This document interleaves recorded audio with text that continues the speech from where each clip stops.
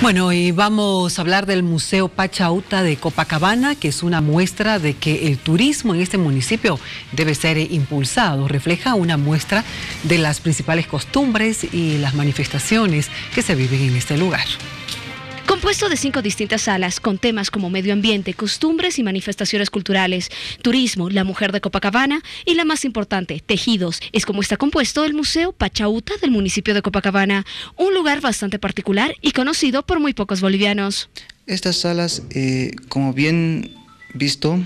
eh, nos enseña, además nos muestra nuestra identidad cultural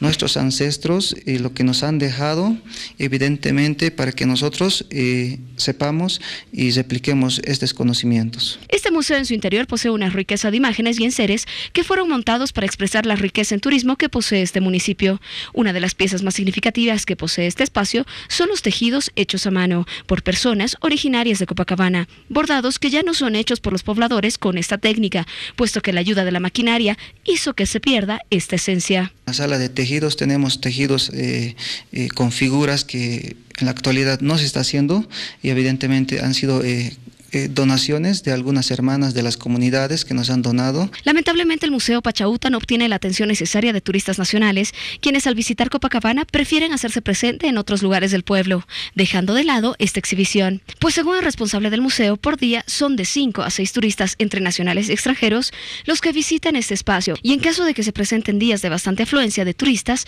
estos oscilarían en un máximo de 40 personas por día se necesita un poco de promoción. La gente que generalmente viene solamente visita lo que es eh, la iglesia, luego el Calvario, la Horca del Inca y alguno que otro más. Pero lo que se necesita, evidentemente, sí, la promoción es muy necesaria para difundir, promocionar el Museo Pachaguta, que se conozca a nivel nacional e internacional. Para que este y otros espacios turísticos de Copacabana sean promocionados y reciban una mayor cantidad de visitantes, la Alcaldía de Copacabana fortaleció las actividades del Centro de Promoción Turística para que la cultura, tradiciones y creencias de la región sean conocidos por muchas más personas.